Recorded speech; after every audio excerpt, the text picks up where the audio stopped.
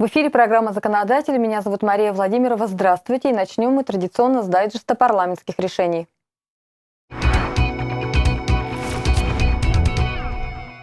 Депутаты окружного собрания провели заседание рабочей группы по подготовке изменений в устав округа. Участники рабочей группы обсудили более 20 поправок. Свои предложения представили органы государственной власти, местного самоуправления, прокуратуры Ненецкого округа, общественные организации. В уставе предлагается закрепить статус Ненецкого округа как субъекта, входящего в состав Арктической зоны Российской Федерации. В развитии этого положения предлагается закрепить в уставе задачи органов государственной власти региона, обусловленные концепцией устойчивого развития Арктической зоны. Они касаются участия органов органов формирования единого информационного пространства в арктической зоне, а также разработки совместных программ по охране здоровья населения, окружающей среды, обеспечению экологической безопасности, сохранению и развитию традиционных видов хозяйственной деятельности коренных малочисленных народов Севера. В устав региона также предлагается включить положение концепции устойчивого развития коренных малочисленных народов Севера, Сибири и Дальнего Востока, касающиеся проживания Ненецкого и других малочисленных народов Севера. Прокуратура Ненецкого округа предложила внести отдельную статью, посвященную Институту уполномоченных в округе округе. Руководитель рабочей группы Виктор Кметь предложил дополнить устав округа главой, которая будет касаться совершенствования нормативной правовой системы региона. Совет муниципальных образований Ненецкого округа выступил с предложением расширить перечень субъектов, обладающих правом законодательной инициативы.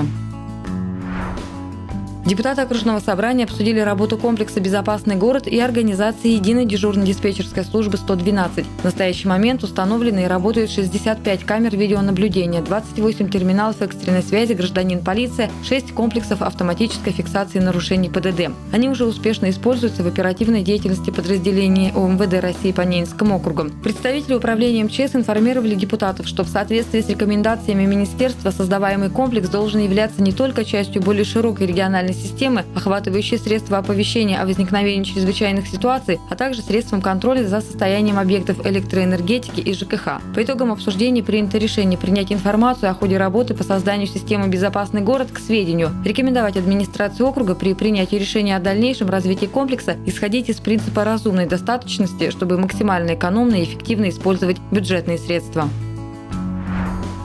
В Наридмаре состоялось заседание Комитета по культурной политике и туризма Парламентской ассоциации Северо-Запада России. Депутаты шести регионов обсудили широкий круг вопросов. С приветствием к участникам встречи обратился председатель окружного собрания депутатов Анатолий Мяндин. В своем выступлении спикер отметил, что Парламентская ассоциация Северо-Запада России в своей деятельности уделяет большое внимание культуре и туризму. В том числе работа профильного комитета направлена на поиск законодательных решений проблем, существующих в этих сферах. Так выступающие единодушно отметили важность участия в развитии сельского туризма региональных властей. Она необходима для решения земельных вопросов, создания нормативно-правовой базы. К примеру, Псковская область предложила разработать ГОСТ для гостевых домов. Документ будет содержать минимальный набор услуг, которые будет обеспечивать хозяин дома при размещении туристов. Также необходимо стандартизировать и организацию питания, в первую очередь для безопасности и соответствия санитарным нормам. Ненецкий округ, как новичок в сфере туризма, будет участвовать во всех законодательных процессах.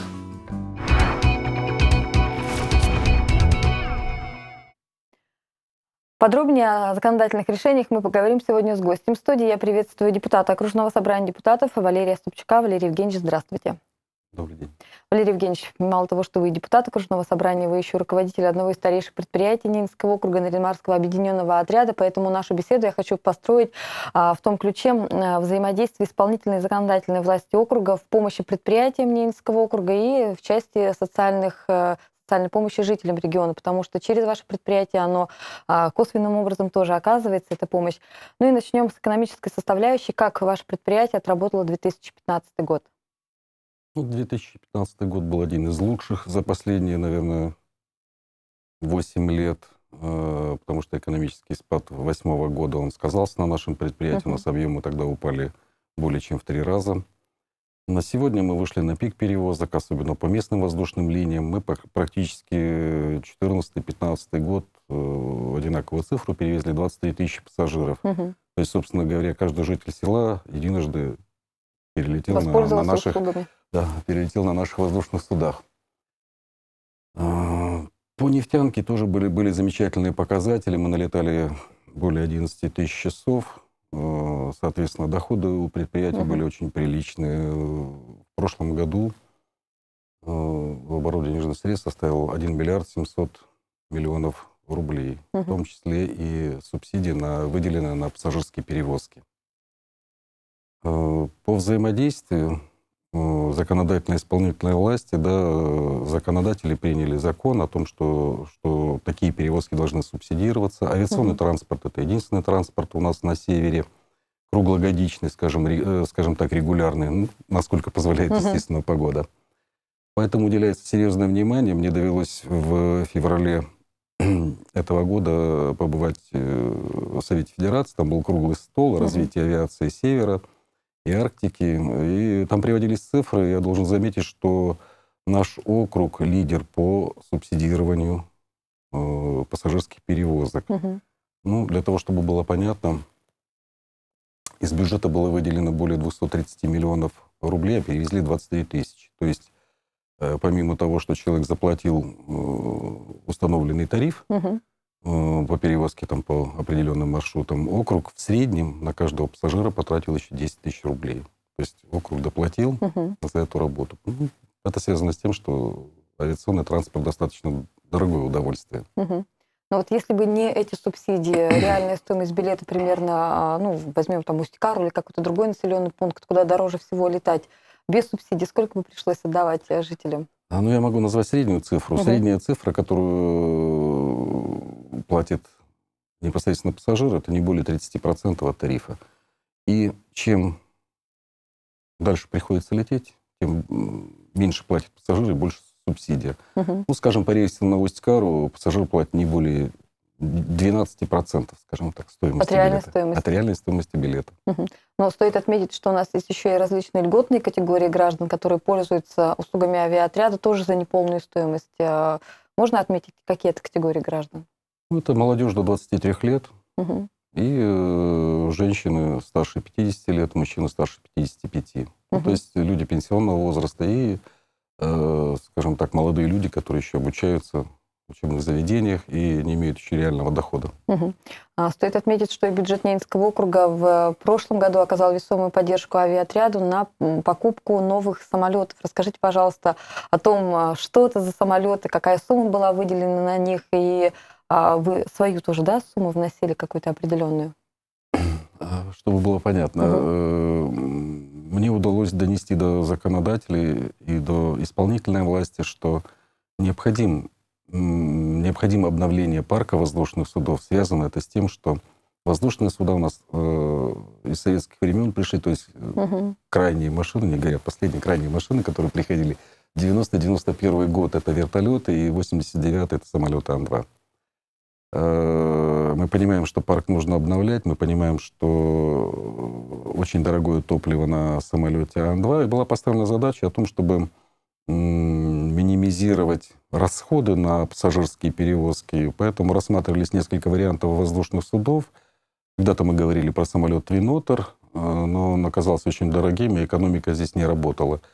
Э, очень хорошо получилось, что научно-исследовательский институт гражданской авиации имени Чаплыгина в Новосибирске разработал mm-hmm. модификацию самолета Ан-2 с газотурбинным двигателем. К сожалению, американского производства, но, как показала практика, этот самолет Э, гораздо эффективнее самолета Ан-2. То есть он с полным крылом может взять, допустим, тот же э, рейс на Усть-Кару, мы с полным крылом берем 7, максимум 8 пассажиров. Этот самолет сможет 12 пассажиров брать. То есть у него двигатель легче на 400 килограмм, э, топливо у него дешевле в три раза. Бензин стоит где-то порядка 100 рублей за литр, керосин около 30 Э, рублей за литр. При одинаковых э, расходах топлива э, эффективность мы просчитывали по двум воздушным судам должна составить где-то порядка 19 миллионов. То есть это, эти 19 миллионов – это бюджетные средства, угу. которые не будут нами востребованы. Посмотрим, правда, боюсь загадывать, но посмотрим, как, как пойдет эта машина. Но показатели у нее очень хорошие. У нее есть несколько хороших плюсов. Это скорость, Угу. Это меньше вибрация, это меньше шум. А, и это печка, которую там сделали, уже салон а, утеплили. Слушай, я помню, как ты летал на Ан-2, я очень сильно замерзла. При минус 30 что... очень холодный самолет, да. Здесь э, реализовали обогрева двигателя, э, так же, как это сделано на вертолете Ми-8. Ну, угу. Кто летал на Ми-8, тот знает.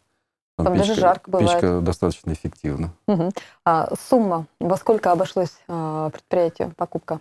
Э, бюджет выделил 225 э, миллионов, 150 из них это были деньги, первоначальный платеж для того, чтобы заложить на стапеля вертолет Ми-8 МТВ. Угу. Так как у нас вертолетные перевозки очень востребованы, особенно нефтяниками.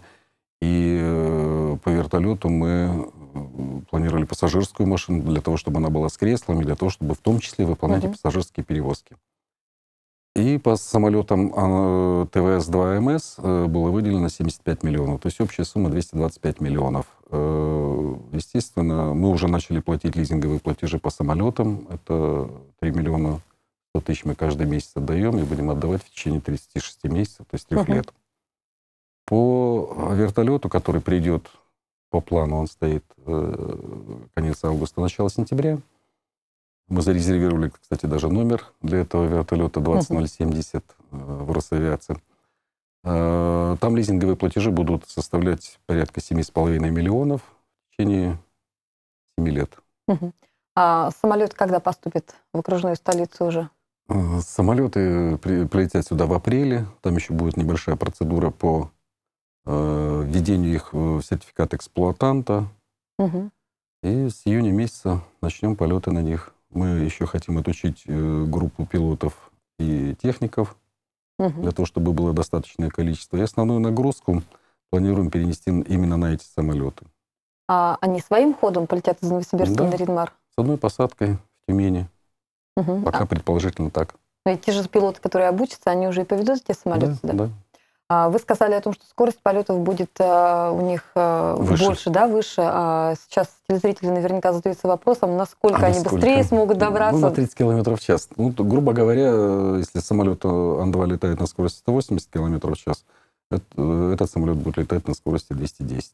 Угу. Ну, то есть тот же рейс до Усть-Кара обратно будет не 6 часов, а порядка 5 часов. Угу.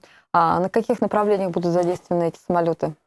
Его эффективно используют на, именно на дальних рейсах.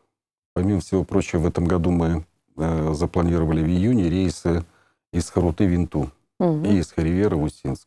14 рейсов у нас запланировано в Новосинск.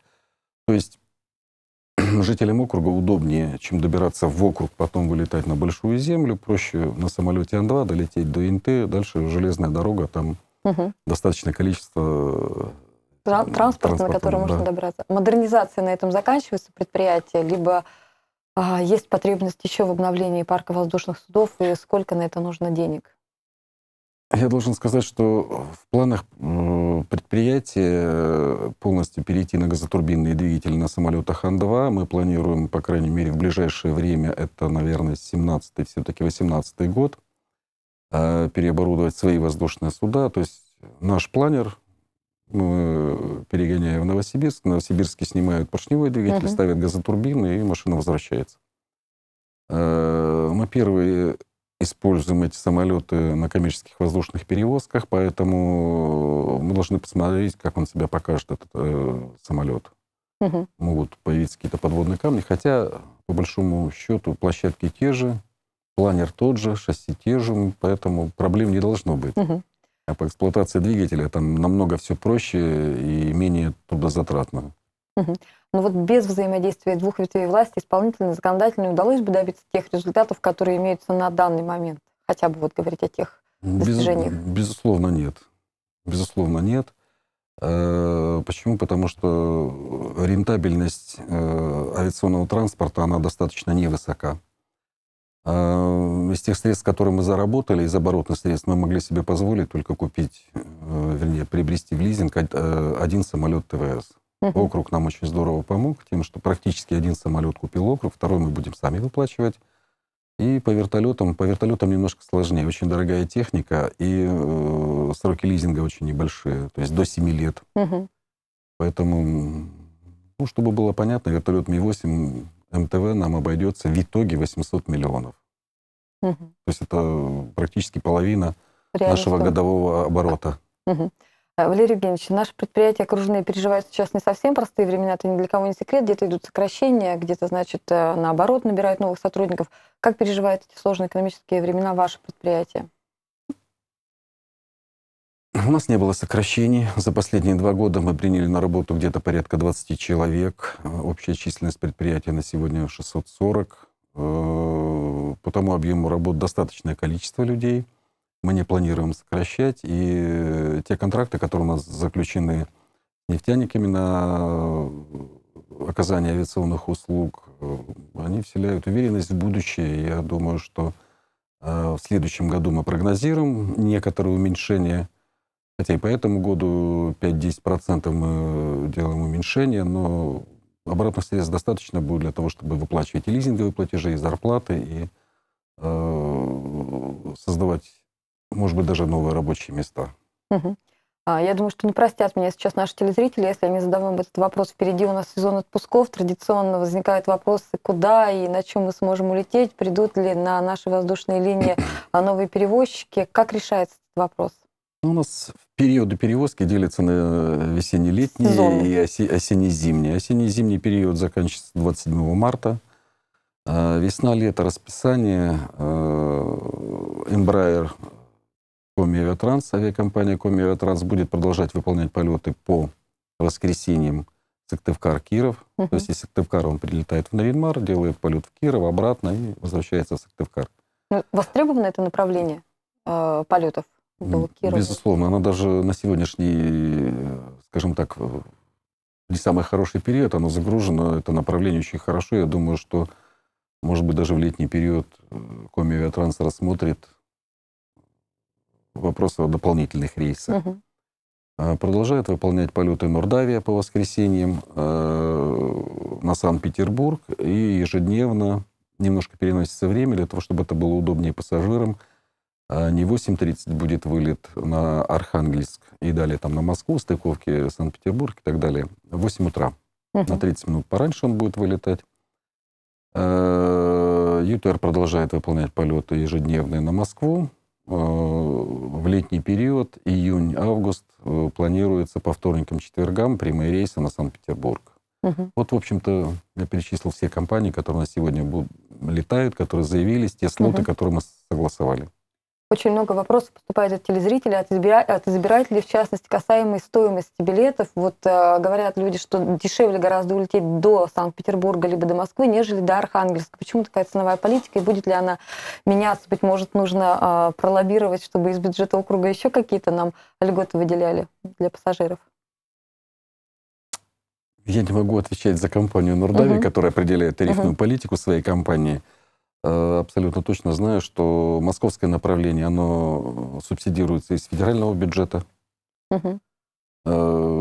Поэтому там ценник э, такой. Да, я знаю, что до Архангельска долететь 11 тысяч, а до Москвы через Архангельск 6. Угу. И некоторые люди даже делают так, берут билет до Москвы, выходят в Архангельск и говорят спасибо. Угу. Будешь видеть. Хотя здесь нельзя сдавать багаж. Компания считает, что себестоимость у него такая. То есть, быть может, у нас просто конкуренция слабая? Это, да, это и отсутствие конкуренции, и, конечно, отсутствие субсидирования именно на этом маршруте. Угу. А, Валерий хотя, хотя угу. округ, насколько я знаю, субсидирует и этот маршрут. Да, там, конечно же, есть для пенсионеров субсидия. Ну, вот, там есть билеты, да. Люди обеспокоены тем, что и так сложные времена, а тут еще и не выбраться получается. Разве что вот э, можно будет потом по реке куда-то добраться, до Коми и там уже до Большой Земли на своем автотранспорте. Я в начале программы сказала о том, что ваше предприятие юбиляр в этом году. А если проследить динамику развития, то а, с какими результатами вы пришли к своему юбилею? А, самый важен, э, важный результат, я считаю, это мы сохранили э, высокий уровень профессионализма, костяк предприятия, это людей. Угу. Когда есть люди, можно любые горы свернуть, для того, чтобы э, люди эффективно работали, должно быть э, соблюдено несколько условий. Должны быть, должна быть нормальная заработная плата, должно быть нормальное орудие труда, то есть угу. воздушные суда, и э, нормальное жилье. Угу. Вот, эти... вот, вот, вот на этих трех китах мы пытаемся строить э, наше авиапредприятие. То есть на сегодня мы провели серьезную реконструкцию и по аэропорту, и по оборудованию. А, сейчас уже обновляются воздушные суда. На сегодняшний момент мы строим профилактории для летного состава. То есть, то есть на территории в Наринмаре или где-то за пределами? Нет, это в Наринмаре мы строим. Это на улице Рыбников. Участвуем в инвестиционном проекте четырехэтажную на 33 квартиры. Угу. Это, по сути, общежитие. Очень здорово. А, Валерий Евгеньевич, а вы сами уже сказали, отвечая на этот вопрос, что без людей, которые работают, невозможно было бы добиться определенных результатов. Если вспоминать ветеранов отрасли, потому что ну, без них никуда, да, это те люди, которые создавали а, всю ту базу, которая действует сейчас, кого бы вы отметили, вспомнили и за особые заслуги? Ну, я очень признателен многим людям, э, сталкиваясь э, непосредственно с ними на работе и видишь, что человек э, незаметно выполняет вот свой объем работы и свой посильный вклад вносит. У нас очень много людей, которые отработали больше 35-40 лет. Э, мне бы не хотелось кого-то отдельно выделять, uh-huh. но действительно и фанаты своего дела, и патриоты предприятия. Но особо хотелось бы отметить, если из летного состава у нас есть уникальный человек Борис Григорьевич Сыровенко, который, во-первых, Дольше всех летал на Ан-2, больше всех налетал. У нас такого налета ни одного пилота нет. Почти 25 тысяч налетал, без малого. То есть, собственно говоря, он в воздухе провел за свою жизнь три года. Угу. Кто не знает Бориса Григорьевича Сыровенко, я не знаю. В деревнях все его знают, потому что он всегда выполнял полеты по деревням округам. А, серьезный вклад внес Георгий Иванович Попов. Он и руководил аэродромной службой, и работал в службе движения Э, очень деятельный специалист и человек э, величайшей души. Ну, я, пожалуй, на этом остановлюсь, потому что я, я говорю, я боюсь кого-то обидеть, uh-huh. кого-то, как, кого-то не вспомнить. У нас замечательная плеяда. Я говорю, Зверев Алексей Николаевич, более 42 лет отработал, из них 20 лет начальником АТБ. Это все вот на моих глазах происходило. И uh-huh. мы видим как изменилась исправность воздушных судов, что намного меньше стало отказов. Это все плоды его труда. Угу. Достойно были оценены. Я ходатайствовал о том, чтобы ему э, наградили его почетной грамотой собрания депутатов. Недавно она ему угу. была угу. Здорово. вручена. А, династии, мы знаем, есть э, целые, да, вот работают поколения. Как вот молодежь себя э, зарекомендовывает? Она идет по стопам своих наставников? Безусловно. А, у нас очень много у летного состава таких династий. Это и Вовковы, и Булыгины, и э, Крымовы, и Король. И...